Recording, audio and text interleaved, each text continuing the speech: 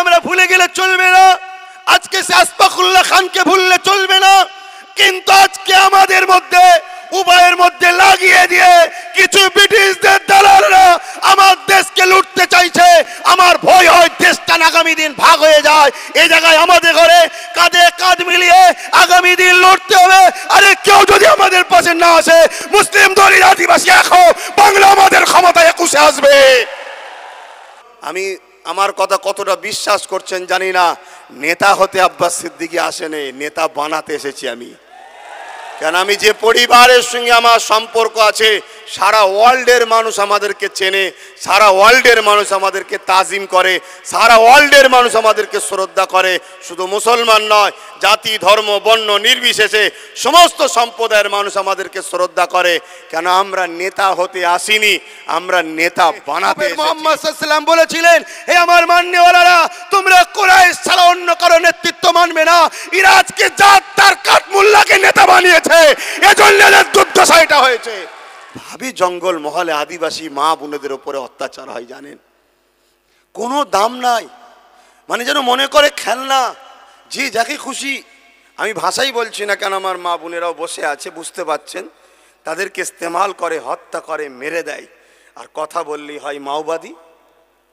কিছু দিয়ে তাকুমা দিয়ে তাকে জেলে ঢুকিয়ে দেয়। এইভাবে অত্যাচার হচ্ছে। আমি কলিকাতার রাজপথে, শোনেন আমার আদিবাসী ভাই আমার মাথায় টুপি আছে, ওটা দেখবেন না। পাগড়িওয়ালারা দাড়ি মুখে আন্দোলন করছে, দেখবেন না। আন্দোলনের লক্ষ্যটাকে দেখুন, বিষয়টাকে দেখুন। হাফেজ তিতুমির যখন দেশের জন্য নারকেল বেড়িয়া কেল্লা করেছিল, উনি তো একটা হাফেজে কোরআন মুসলমান। ওটা দেখতে গেলে হবে না, তার উদ্দেশ্যটা কি দেখুন? যদি এই টুপি দাড়ি দেখতে যায়, আর যদি এমন করে সিঁদুর দেখতে যায় বা তিলক দেখতে চায় তাহলেই কিন্তু আমরা ফেতনার মধ্যে জড়িয়ে যাব। লক্ষ্যটা কি, কাজটা কি, উদ্দেশ্যটা কি দেখতে হবে। কে কোন ধর্ম করছে, তার স্টাইল কি, তার ইউনিফর্ম কি, সে কাকে মানে সে তার ধর্ম তার ঘরে রাখবে যাক। কিন্তু আমরা সবাই ভারতীয়। আজকে দেশকে দুশো বছরের ব্রিটিশদের হাত থেকে আমরা আজাদ করেছি। বিরসা মুন্ডার বহুত অবদান রয়েছে। তিলকা মাঝির বহুত অবদান রয়েছে। আজকে আমরা ভুলে গেলে চলবে না। আজকে সে আসফাকুল্লাহ খানকে ভুললে চলবে না, কিন্তু আজকে আমাদের মধ্যে, উভয়ের মধ্যে লাগিয়ে দিয়ে কিছু ব্রিটিশদের দালালরা আমার দেশকে লুটতে চাইছে। আমার ভয় হয় দেশটা আগামী দিন ভাগ হয়ে যায়। এই জায়গায় আমাদের ঘরে কাঁধে কাঁধ মিলিয়ে আগামী দিন লড়তে হবে। আরে কেউ যদি আমাদের পাশে না আসে, মুসলিম দলিত আদিবাসী এখন বাংলা আমাদের ক্ষমতায় একুশে আসবে। আমরা এক হয়ে গেলে বাংলা একুশে আমাদের ক্ষমতায় আসবে। আমি তো বলেছি যে আদিবাসীর মধ্যে থেকে সিএম হোক, দলিতদের মধ্যে থেকে স্বরাষ্ট্রমন্ত্রী হোক, শুনুন, আমি আমার কথা কতটা বিশ্বাস করছেন জানি না, নেতা হতে আব্বাস সিদ্দিকি আসেনি, নেতা বানাতে এসেছি আমি। কেন আমি যে পরিবারের সঙ্গে আমার সম্পর্ক আছে, সারা ওয়ার্ল্ডের মানুষ আমাদেরকে চেনে, সারা ওয়ার্ল্ডের মানুষ আমাদেরকে তাজিম করে, সারা ওয়ার্ল্ডের মানুষ আমাদেরকে শ্রদ্ধা করে। শুধু মুসলমান নয়, জাতি, ধর্ম, বর্ণ, নির্বিশেষে সমস্ত সম্প্রদায়ের মানুষ আমাদেরকে শ্রদ্ধা করে। কেন আমরা নেতা হতে আসিনি, আমরা নেতা বানাতে এসেছি। এই ইতিহাস, এই বাংলা থেকে ডাক্তার বাবা সাহেব আম্বেদকারকে আমরা কাঁধে করে পাঠিয়েছি। ইতিহাস ভুলে গেলে চলবে না। তাই আমরা পারব, আপনারা বিশ্বাস করে দু ভাই শুধু এক জায়গায় হন। আদিবাসী আর দলিত ভাই এক জায়গায় হন। আমরা আপনাদের ঘরে সাপোর্ট করব। আমরা যদি বামকে সাপোর্ট করতে পারি, আমরা যদি কংগ্রেসকে সাপোর্ট করতে পারি, আমরা যদি টিএমসি কে সাপোর্ট করতে পারি, কেন আমরা আপনাদেরকে সাপোর্ট করব না? আপনাদের ঘরে জিতাবো। আপনারা হন, আপনারা দেশের নেতৃত্ব দেন, আপনারা এগিয়ে যান। আমাদের কোনো হিংসা নাই। আমি দায়িত্ব নিয়ে বলছি, এই বাংলার বুকে আজকে একশোটা মুসলমান থাকলে, সত্তর থেকে পঁচাত্তরটা মুসলমান মা, বাবা, ভাই, বোন, সবাই আমাকে ভাইজান, বাবাজি বলে ডাকে, তারা ওয়াদা করেছে দু হাজার একুশে আপনারা যাকে বলবেন, তাকেই ভোট দেবো। আমি বলে দেবো, আপনারা দাঁড়ান, আপনাদেরকে ভোট দিতে। আজকে এইভাবে অধিকার কখনো চেয়ে পাওয়া যায় না। অধিকার আমাদেরকে ছিনিয়ে নিতে হয়। আমার নাসির ভাই মনে হচ্ছে আসলো। আসুন, একটু আপনার পরিচয় করিয়ে দিই। না, আপনার অনেক অবদান আছে। আমার আদিবাসী ভাইরা দেখুক আপনাকে। শুধু সময়ের সংক্ষেপ বলে ভাইকে দিলাম না। কীভাবে যে অত্যাচার জুলুম হয় জঙ্গল মহলে, আপনারা জানেন না। আর একটা জিনিস খেয়াল করবেন, যেখানেই দেখবেন মুসলমানের বসবাস আছে, ওর পাশাপাশি কিন্তু আদিবাসী সম্প্রদায়ের বসবাস বেশি। এটা খেয়াল করে দেখবেন। তো যাই হোক, আজ আমাদের এখানে আরও কিছু রয়েছে। আইন বাতিলের ব্যাপারে আমরা দীর্ঘদিন আন্দোলন করছি। আমরা চাই যতদিন পর্যন্ত না কৃষক বন্ধুরা হাসবে ততদিন পর্যন্ত আমরা কৃষকের পাশে দাঁড়াবো, ঠিক না বেঠিক ঠিক না বেঠিক হাত তুলে আপনারা সাক্ষী দিচ্ছেন তো, কৃষকের দুশ্মন আমাদের দুশ্মন, ঠিক না বেঠিক আজকে এই এলাকায় অনেক মানুষ আছে, গরিব মানুষ, তারা তাদের ঘর পাইনি তারা। সেই বিষয়ে আজকে আমার এখানে আন্দোলন, সেই আন্দোলনে আমি সামিল হয়েছি। অবশ্যই এটা যথাযথ একটা আন্দোলন, যে প্রধানমন্ত্রী আবাস যোজনা প্রকল্পের দাবি যে আদিবাসী দলিত পিছিয়ে পড়া মানুষরা ঘর পাচ্ছে না। মনে রাখবেন, প্রধানমন্ত্রী আবাস যোজনা বলতে কোনো ব্যক্তিগত কারণ নয়, এটা দেশের সম্পদ। এটা কার সম্পদ? দেশের। আপনারা কারা কারা ট্যাক্স দেন একটু হাত তুলবেন? কারা কারা ট্যাক্স দেন একটু হাত তুলবেন? হ্যাঁ এখানে এমন কেউ নাই যে ট্যাক্স দেয় না, সবাই ট্যাক্স দিই। ওই ট্যাক্সের পয়সাটা হচ্ছে দেশের পয়সা, অর্থাৎ আমাদের পয়সা। আমাদের পয়সা। আপনারা জানেন না একটা সমীক্ষা আজকে ছোট করে বলছে, আপনাদের কষ্ট হচ্ছে না তো? কেন আমি আমি আজকে এই আস্তে আস্তে বলছিলাম আমার দাদাকে যে জঙ্গলমহল থেকেও লোকেরা যোগাযোগ করছে এই প্রোগ্রামটা তো আমাকে বারবার কোথায় গেল। ইমরানকে বা বিভিন্ন ছেলেকে এখানকার আদিবাসী ভাইয়েরা বলেছে হ্যাঁ গা আব্বাস সিদ্দিকি, কি শুধু তোমাদের, আমাদের কাছে আসবে না? অ্যাকচুয়ালি আমার দেড় দু বছর আগে থেকে প্রোগ্রাম হয়ে থাকে। রোববার, শুক্রবার কোনো ফাঁকা রাখি, বাড়িতে মিটিং থাকে অনেক। তাই আমি ইমরানকে বলেছিলাম, আমার দাদাদেরকে বলো, আমার দিদিদেরকে বলো, কেন আমি তাদেরও সন্তান, তাদেরও ভাই? কেন আমি মনে করি আমাদের সবার শুরু কিন্তু এক বাবা, এক মা থেকে। পৃথিবীর সবার প্রথম বাবা কিন্তু একজনই এসছিলেন, একজনই নারী এসছিলেন, একজনই পুরুষ এসছিলেন। তাহলে আমরা সবাই এক বাবা মার সন্তান, কেন আমরা একে অপরের ভাই বোন নয়? এ তো ফেতনা লাগিয়েছে কিছু রাজনীতির নেতারা, যেটা ব্রিটিশ লাগিয়েছিল, সেই মিক্সচার এখনও কিছু আছে, তারা লাগাচ্ছে। আমরা সবাই একে অপরের ভাই বোন, আমরা একে সব একে দাদা, একে অপরের সব আপনজন আমরা। তো সেই জায়গায় আমি বলেছিলাম, আমি অবশ্যই যাব। ঠিক সেইভাবে আমার মাস্টার সাহেবকেও, নাসির সাহেবকেও অনেকে বলে জঙ্গল মহল থেকে, আমাদের আব্বাস সাহেবকে দয়া, একবার বলুন না আমাদের এখানে আসতে। কেন আমি দু হাজার উনিশের একত্রিশে জানুয়ারি কলিকাতায় একটা আন্দোলন করেছিলাম। আমার আদিবাসী মা বোন, বাপ ভাই জানেন কি জানি না। আপনাদের সাথে আমার সম্পর্ক কবে থেকে জানি না, কিন্তু আমি আপনাদেরকে ভালোবাসি অনেক আগে থেকে। দু হাজার একুশে, উনিশে কলিকাতার রাজপথে, একত্রিশে জানুয়ারি দাঁড়িয়ে সাড়ে চার থেকে পাঁচ লক্ষ লোক নিয়ে বলেছিলাম যে বন দপ্তরের টাকা আদিবাসী সম্প্রদায় ঘরে ফিরিয়ে দিতে হবে। এই আন্দোলন আমার কলিকাতার রাজপথ থেকে এখনও চলছে। যদি কখনো এই বাচ্চাটাকে সন্তান মনে করে নিতে পারেন আমার মায়েরা, দাদারা, বোনেরা, ভাইয়েরা আমি বলে যাচ্ছি, আমি যদি একটু ক্ষমতা পাই, তাহলে অবশ্যই এ সম্পদ আপনাদের ফিরিয়ে দেখাবো। জল জঙ্গলের অধিকার যেটা আদিবাসী ভাইয়েরা চায়, তাদের সম্পদ তাদেরকে ফিরিয়ে দিতে হবে। যারা মূল নিবাসী যারা মূল নিবাসী, তারা আজকে ডিবিসির ধারে কেন? যারা মূল নিবাসী, তারা আজকে পিডাব্লিউ রোডের ধারে কেন? যারা মূল নিবাসী, তারা আজকে জঙ্গলে কেন? এর ইতিহাস পড়ার জন্য আপনাদেরকে আমি দাওয়াত দিলাম। আপনাদেরকে আমি জানাব, ইতিহাস পড়ুন, কীভাবে কারা আপনাদের উপরে অত্যাচার করেছিল? কারও মুখের বক্তব্য শুনে ভেসে গেলে হবে না। ইতিহাস পড়তে হবে, আপনারা তো এই জমিকে, উর্বর জমিকে আপনারা তো শস্য ফলিয়েছিলেন। আপনারাই তো সেই ভারতের মূল আদিবাসী। তাহলে আজকে আপনাদের স্থান জঙ্গলে গেল কেন? কেন বিডাব্লিউর জায়গায় গেল? কেন আপনারা ডিবিসি রোডের ধারে থাকবেন? কেন আপনারা পাট্টা জায়গায় বাস করবেন? কেন আপনারা খাস জায়গায় বাস করবেন? কেন কেন? এর প্রশ্ন আপনাদেরকে জানতে হবে। আপনাদের উপরে কারা জুলুম করেছিল?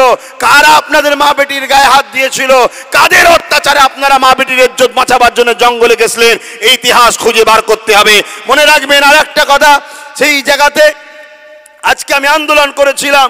আজকে এখানে আপনাদের কালারটা বলে দিই। অনেকে বলছে এনআরসি করে মুসলমানদের তাড়াবো আর দুতলা বাড়িটা তোমায় দেবো। আমি একটা কথা ভাবাই, যারা এনআরসি করে দুতলা বাড়ি আপনাকে দিবার স্বপ্ন দেখাচ্ছে, তারাই কিন্তু ডোনাল্ড ট্রাম্পকে আনার জন্যে গরিবদের ঘরে না দেখতে পায় একশো কোটি টাকা খরচ করে দিয়াল তুলেছিল তারাই। তাহলে তারা আপনাদের ঘরে ঘর দেবে, স্বপ্ন আপনি দেখছেন কেন? শুনে রেখে দেয় এনআরসি হলে সব থেকে বেশি যদি কেউ বিপদে পড়ে, সেটা বাংলাদেশ থেকে আগত মতুয়া ভাই, তারপরে যদি কেউ বিপদে পড়ে, যারা ভারতের মূল নিবাসী, আদিবাসী ভাই বোনেরা, আপনারা বিপদে পড়বেন। যদি বলেন কেন? আপনারা যে জল জঙ্গলে বাস করছেন, ডিবিসি ধারে বাস করছেন পিডাব্লিউ জায়গায় বাস করছেন, একটা জমির মালিকানা কাগজ কিন্তু আপনারা দেখাতে পারবেন না। আর যখনই দেখাতে পারবেন না, তখনই আপনাকে ক্যাম্পে ভরবে ক্যাম্পে ভরে আপনার জায়গাগুলো পুঁজিপতিদের হাতে তুলে দেবে এটাই হলো এদের প্ল্যান আর মুসলমান যে বিপদে পড়বে না তা নয়, মুসলমান বিপদে পড়বে। মুসলমান বিপদে পড়ার জন্য একটাই কারণ আগেও বলেছি, আজও বলেছি, সেই কারণটা হলো প্রফেট মোহাম্মদ সাল্লামের কথাকে অমান্য করার জন্য। প্রফেট মোহাম্মদ সাল্লাম বলেছিলেন, হে আমার মান্যওয়ালারা, তোমরা কোরআশ ছাড়া অন্য কারও নেতৃত্ব মানবে না। ইরাজকে জাত, তার কাঠমুল্লাকে নেতা বানিয়েছে। এজন্য এদের দুর্দশা এটা হয়েছে। অতএব এসব বন্ধ করো। বন্ধ করে নিজের দিকে ফিরে আসো। একে অপরকে ভালোবাসো, কেন মহান স্রষ্টার দয়া কখনো তুমি পেতে পারো না? যদি তুমি মহান স্রষ্টার সৃষ্টিকে না ভালোবাসো।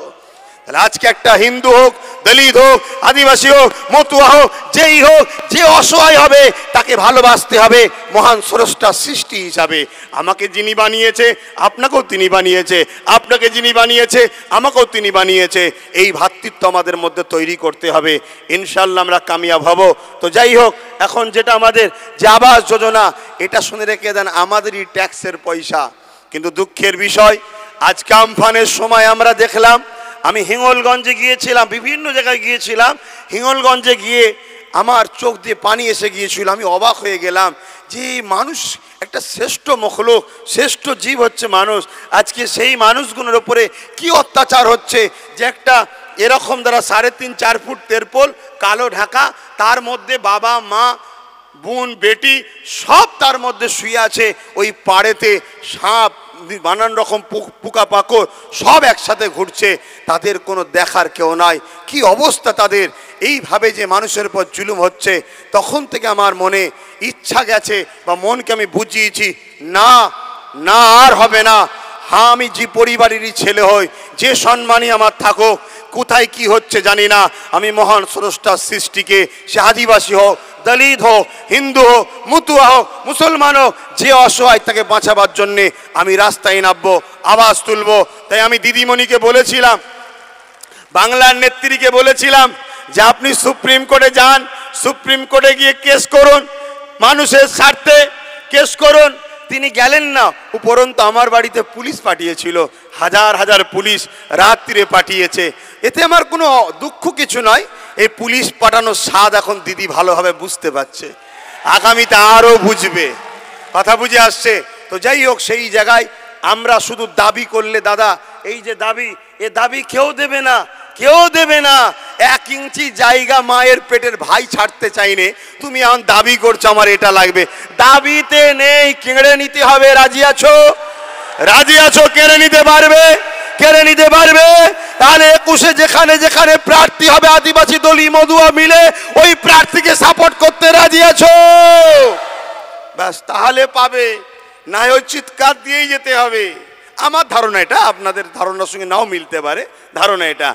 আর এখানে আরও দাবি রেখেছে পিছিয়ে পড়া প্রকৃতি বাস্তু ভাড়াদে যারা আমফানে যাদের অত্যাচার, জুলুম হয়েছে, যে কথা আমি পূর্বেই বললাম। তো যাক, আপনাদের এই মূল্যবান সময়, আপনারা আমাকে শুনেছেন, আমার কথাকে শুনছেন, আমার বড় ভালো লাগল। আমি নিজেকে আজকে নতুন একটা জগতে দেখে নিজেকেও ভালো লাগছে। আমি নাসির ভাইকে বলছিলাম, উনি প্রোগ্রামের কথা বলছিল। আমি বলছিলাম এই রকম প্রোগ্রাম বেশি বেশি করলে আবার অসুবিধে আছে। কি অসুবিধে একটু শোনেন। শুনবেন তো কি অসুবিধা? আমার ভয় হয়, দেখা যাবে কোনো একজন কুলাঙ্গার মুসলমানকে দিয়ে একটা আদিবাসী সম্প্রদায়ের কিছু ক্ষতি করাবে, করিয়ে দিয়ে ডিভাইড করে দেবে। কোনো একজন দেখা যাবে আদিবাসী সম্প্রদায়ের মানুষকে দশ বিশ হাজার টাকা দিয়ে মুসলমানের সঙ্গে লাগিয়ে দেবে। এই জায়গায় আমরা ঐক্যবদ্ধ এইভাবে হতে পারব যে আমরা শপথ নিচ্ছি, কোনোদিন যদি আমাদের মধ্যে কোনো মতনৈক্য হয় তাহলে আমরা উভয় দলের নেতৃত্ব বসে এক জায়গায় মিটিং করব। যার অন্যায় হবে, উপযুক্ত শাস্তি তাকে আমরা অবশ্যই দেব। তবে আমরা আগামী দিন আগাতে পারব। কেন এই থার পার্টি যারা আছে, তারা কোনোদিন কোনোদিন তারা আমাদের ঘরে এক হতে দেবে না। তাহলে আমি বিদায় নিবার আগে শেষ কয়েকটা কথা। সেটা হলো এটাই যে দু হাজার একুশ বিধানসভাতে দু হাজার একুশ বিধানসভাতে এই অশোকনগর থেকে যদি কোনো আদিবাসী দলিকে দাঁড় করায়, আপনারা সকলে সাপোর্ট করতে রাজি আছেন। রাজি আছেন আদিবাসী দলিত ভাইয়েরাও? রাজি আছেন? ধন্যবাদ ধন্যবাদ।